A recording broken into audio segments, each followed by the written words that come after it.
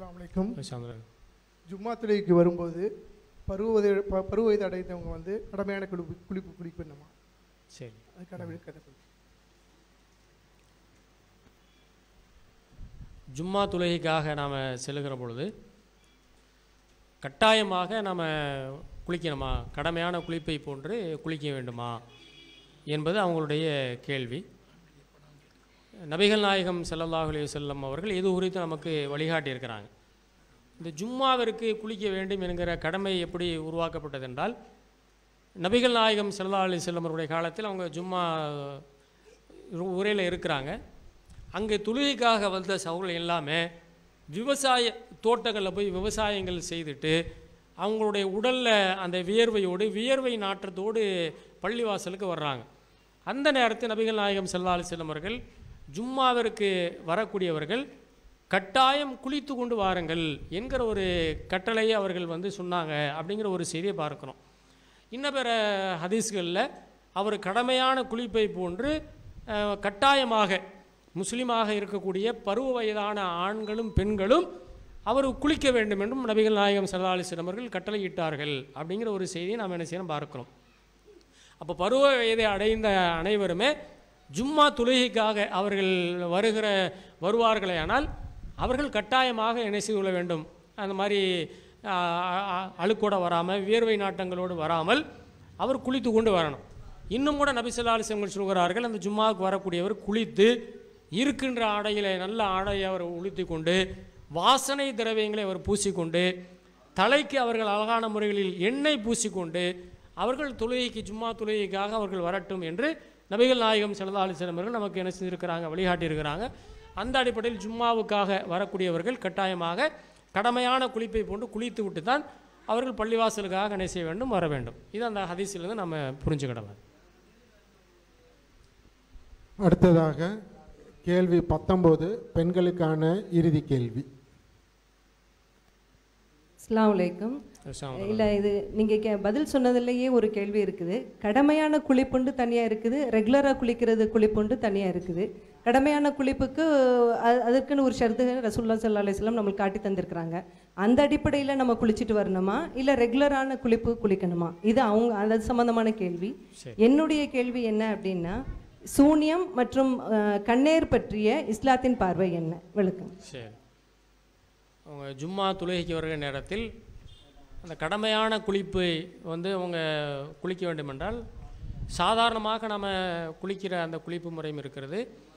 அதே போன்று கடமையான அந்த குளிப்புக்காக நபிசல்லா சிலமர்கள் செல்கிற பொழுது முதலில் அவருடைய ம அந்தரங்கமான உறுப்புகளை கழுவி விட்டு ஒளி செய்து விட்டு அதற்கு பிறகு நபிசல்லா சிலமர்கள் குளிப்பார்கள் என்றும் இருக்குது.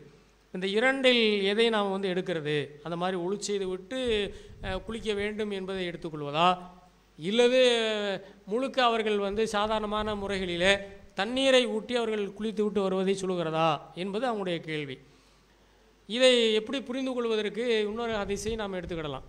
அல்லாஹுடைய தூர்கள் சொல்கிறார்கள் ஒருவர் ஜும்மாவிற்காக ஆரம்ப நேரத்திலேயே ஒளி செய்துவிட்டு குளித்துவிட்டு பள்ளிவாசலுக்காக ஒருவர் வருகை தருகிற நேரத்தில் முதலாவதாக வருகை தந்த நபருக்கு ஒட்டகம் கொடுத்த நன்மையை அல்லாஹ் எழுதுகிறான்.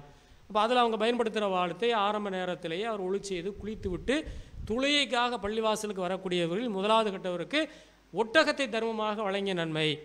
இரண்டாவது வந்தவர்களுக்கு மாடு கொடுத்த நன்மை. மூன்றாவது வந்தவர்களுக்கு ஆடு கோழி முட்டை என்கிற ஒரு உதாரணத்தை சொல்கிறார்கள். அதில் எப்படி அல்லாவுடைய தூர்கள் வாசகத்தை பயன்படுத்துகிறார்கள் என்றால் ஒளி செய்து விட்டு குளித்து விட்டு ஆரம்ப நேரத்தில் பள்ளிவாசலுக்கு வரக்கூடியவர் என்ற ஒரு வார்த்தை பயன்படுத்துகிறாங்க அதனால் ஒளிச்செய்து விட்டு குளித்து விட்டு பள்ளிவாசலுக்காக வருகை தர வேண்டியவர். அடுத்து அவர் ஒளிச்செய்ய தேவையில்லை. வருகை வந்து ஆரம்பத்திலேயே இரண்டரை காத்து அவர் தொழுது விட்டு அங்கே என்ன உரையாற்றப்படுகிறது என்பதை கேட்பதற்காக அவர் நெருங்கி அமர்ந்து விட வேண்டும் என்பதை சொல்லுகிறது. அதனால் கடமையான குளிப்பை போன்று கட்டாயமாக பருவ வயது அடைந்த ஒவ்வொரு முஸ்லீமான ஆண்களும் பெண்களும் குளிக்க வேண்டும் என்று நபிசல் அரசம் கட்டிட்டிருக்கிறார்கள் அதனால் ஒளி செய்து விட்டு குளித்து விட்டு அவர் ஜும்மாவிற்காக பள்ளிவாசலுக்கு என்ன செய்வது? வர வேண்டும் என்று அதில் சொல்லப்பட்டிருக்கிறது. அப்போ இதை அந்த கடமையான குளிப்பை போன்று இந்த ஜும்மாவிற்கு அவர் செய்ய வேண்டும் என்பதை நாம் வந்து இதிலிருந்து புரிந்து கொள்ளலாம். இரண்டாவதான கேள்வி இரண்டாவதான அவங்க கேட்ட கேள்வி கண்ணேறு அதே போன்று சூனியம் இந்த இரண்டுக்கும் இஸ்லாத்தின் பார்வை என்ன என்பது அவங்களுடைய ஒரு கேள்வி. இயற்கையாக அல்லாஹ் வந்து மனிதனுக்கு எதை சக்தியாக கொடுத்துருக்கிறானோ அதை நாம் நம்பலாம். இயற்கையாக அல்லாஹ் தந்திருக்கக்கூடிய சக்தியை மீறி அல்லது அல்லாவுக்கு இருக்கக்கூடிய ஆற்றலை போன்று மனிதனுக்கும் இருக்கிறது என்பதை போன்று ஒரு நம்பிக்கை ஏற்படுமையானால் அதை நாம் வந்து நம்பக்கூடாது. அது வந்து இணை வைத்தலில் அல்லாஹுடைய ஆற்றலை நிராகரிக்கக்கூடிய ஒரு பண்பியலில் நாம் அதில் வந்துடுவோம். இப்போ அவங்க கேட்டதை போன்று கண்ணேறு. ஒருவர் ஒருவரை மீது கண்படுகிறார் என்பதற்காக அவர் பாதிக்கப்படுகிறார் என்றால் அதற்கு அறிவியல் ரீதியாகவும் நாம் நிரூபிக்க முடியாது. மார்க்க ரீதியாகவும் அதை என்ன செய்ய முடியாது? நிரூபிக்க முடியாது. காரணம் அல்லாஹ் பொதுவாகவே சொல்லுகிறான். நீங்கள் பூமி எங்கும் நீங்கள் சுற்றி திரிந்து பாருங்கள். அல்லாஹு படைத்திருக்கக்கூடிய அந்த படைப்பினுடைய அந்த அழகை ரசித்து அல்லாஹை நீங்கள் வந்து உணர்ந்து கொள்ளுங்கள் என்று அல்லாஹ் சொல்கிறான் அந்த அடிப்படையில் அல்லாஹ் பூமியை சுற்றி பாருங்கள் என்ற அடிப்படையில் நாம் வந்து அல்லாஹுடைய பூமியை அழகான காட்சிகளை நாம் பார்க்கத்தான் செய்கிறோம். கண்பட்டாலே பாதிப்பு ஏற்படும் என்றால் அந்த மாதிரியான பொருட்கள் பாதிப்பை அடைய வேண்டும். அல்லது பொ- பொதுவாகவே அழகாக இருக்கட்டும் அழகல்லாக இருக்கட்டும் எல்லாவற்றின் மீதுமே மனிதனுடைய பார்வை ஏற்படும். அந்த பார்வை ஏற்பட்டு விட்டாலே பாதிப்பை அடைந்து விடும் என்ற ஒரு சூழல் வறுமையானால் உலகத்தில் எல்லா மனிதர்களுமே அழிஞ்சு போயிடுவான். உலகத்தில் உள்ள எல்லா பொருளுமே அழிந்து போய்விடும். அப்படி நிதர்சனமாக உலகத்தில் நடக்கிறதா என்றால் அந்த மாதிரியாக நிதர்சனமாக எதுவுமே நடப்பது இல்லை. அதல்லாமல் ஒரு மனிதனை என்னால் வந்து ஆயுதத்தை கொண்டு தாக்கி அவருக்கு ஏதாவது ஒரு பாதிப்பை ஏற்படுத்த முடியும். ஆனால் எந்த வகையில் அவருக்கு பாதிப்பு வந்தது என்று அறிந்து கொள்ளாத வகையில் ஒரு பாதிப்பை அவருக்கு நாம் ஏற்படுத்த முடியுமானால் அதற்குரிய சக்திக்குரியவன் அல்லாவுக்குரியது அப்போ இந்த கண்படுகின்ற இந்த மாதிரியாக பாதிப்பு அவரை வந்து புற ஆயுதங்களை கொண்டு தாக்காமல் அவருக்கு எந்த விதமான சதிகளையும் செய்யாமல் அவரை பாதிக்க வைக்க முடியும் என்ற மாதிரியான ஒரு நம்பிக்கை இந்த சூனியத்திலும் வருகிறது. கண் பார்வையின் மூலமாக பாதிக்க வைக்க முடியும் என்கிற நம்பிக்கையிலும் வருகிறது. இப்போ அது அனைத்துமே வந்து என்ன செய்கிறது என்றால் மார்க்கத்துக்கு எதிரானது.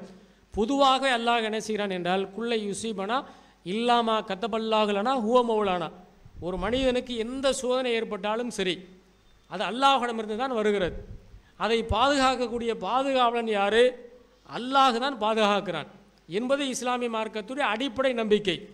ஆனால் இவன் பார்த்து விட்டாலே அவனுக்கு பாதிப்பு ஏற்பட்டு விடும் ஒருவனை சூனியம் செய்து விட்டாலே அதனால் அவனுக்கு பாதிப்பு ஏற்படுத்தி விடும் என்பது அல்லாஹ்வுடைய சக்தியை மனிதர்களுக்கு கொடுப்பதை போன்ற ஒரு நம்பிக்கை வந்து விடுகிறது லா யுஃப்லிகு சாயுரு ஹைசு அத்தா.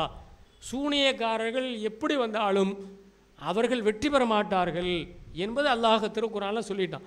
அப்போ கண்பட்டனால அவர் பாதிக்கப்பட்டுட்டாரு.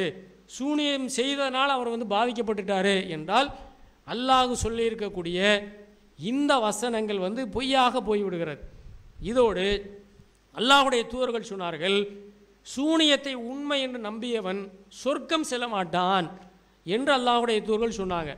எந்த ஒன்றில் ஆற்றல் இல்லையோ சக்தி இல்லையோ ஆற்றல் இல்லாததை சக்தி இருப்பதை ஒருவர் நம்பிவிட்டால் அது இஸ்லாமிய மார்க்கத்துடைய அடிப்படைக்கு எதிரானது.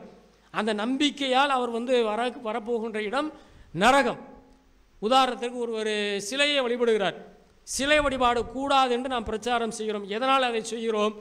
சிலையை வழிபடக்கூடியவர் நாளை நரகத்திற்கு வருவார் என்று நாம் சொல்கிறோம். அல்லாவிற்கு இருக்கக்கூடிய ஆற்றல் அதற்கு இருக்கிறது என்று அவர் நம்புகிறார். சக்தி இல்லாததை சக்தி இருக்கிறது என்று அவர் நம்புகிறார். அந்த காரணத்தினால்தான் சிலை நம்பிக்கை கூடாது என்று சொல்கிறோம். அதே போன்று தான் சூனியம். ஒருவருக்கு புற ஆயுதம் கொண்டு தாக்காமல் அல்லாஹ் நாடினால் ஒருவரை பாதிக்க வைக்க முடியும் என்பதை போன்று ஒருவர் பாதிப்பை ஏற்படுத்த முடியும் என்றால் இது இல்லாத ஆற்றலை இருப்பதாக கருதுவது. இது மார்க்கத்திற்கு எதிரானது. அதோடு அல்லாஹ் அந்த சூனியக்காரன் எப்படி வந்தாலும் வெற்றி பெற மாட்டான் என்று சொன்ன வசனத்துக்கு எதிரானது. அல்லாஹ்வுடைய தூரவர்கள் சூனியத்தை உண்மை என்று நம்பியவன் சொர்க்கம் செல்ல மாட்டான் என்ற வார்த்தையிலிருந்து சூனியத்தை உண்மை என்று நம்பக்கூடாது என்பதுதான் அல்லாஹ்வுடைய தூரவர்கள் நமக்கு வழிகாட்டியிருக்கிறார்கள். அதனால் இந்த கண் பா பார்வைப்பட்டது என்கிற நம்பிக்கையோ சூனியம் உண்மை என்கிற நம்பிக்கையோ மார்க்கத்துக்கு உகந்ததல்ல. அது அல்லாவிற்கு இணை வைக்கக்கூடிய ஒரு கொள்கை. இந்த குலையில் உள்ளவர்கள் தன்னை திரித்து கொண்டு சரியான அக்கீதாவுடைய கொள்கைக்கு அவர்கள் வர வேண்டும். இதான் சகோதரி கேட்ட இரண்டு கேள்விக்குமான பதில்.